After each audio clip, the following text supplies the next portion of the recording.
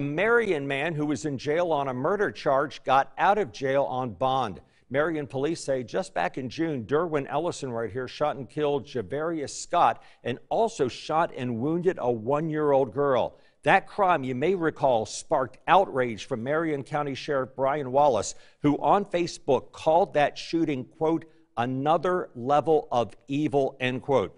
Ellison also has prior arrests, but again, he is out of jail on a $50,000 bond.